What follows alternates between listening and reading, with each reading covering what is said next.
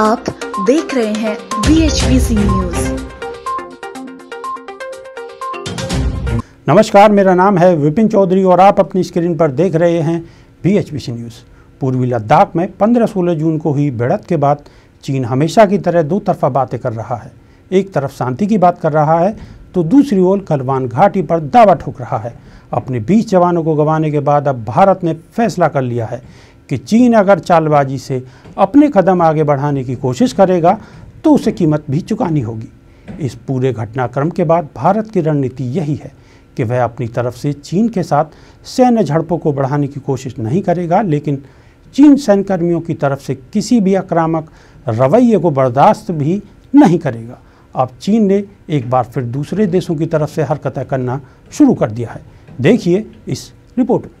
One belt व road परियोजना में जुटी चीनी कंपनी के विशेषज्ञों ने उत्तराखंड की पिथौरागढ़ सीमा से सटे क्षेत्र में नेपाली सेना का ड्रेस पहनकर निर्माण शुरू कर दिया। यहाँ उनकी संख्या अभी करीब तीस बताई जा रही है। उन्हें सेना की टुकड़ी के साथ हेलीकॉप्टर से निर्माण स्थल पर पहुँचाया गया है। बुधवार को सेना के हेलीकॉप्टर से ही निर्माण सामग्री भी मुहैया कराई गई। अभी चीन नेपाल में Bhairahawa international airport Pokhara airport और काठमांडू के पशुपति इंटरनेशनल एयरपोर्ट के विस्तार के साथ ही चार जल विद्युत परियोजनाओं पर काम कर रहा है। कोरोना काल में काम ठप पड़ा तो विशेषज्ञों को भारत से लगते सीमावर्ती क्षेत्र में सड़क निर्माण के लिए लगा दिया गया।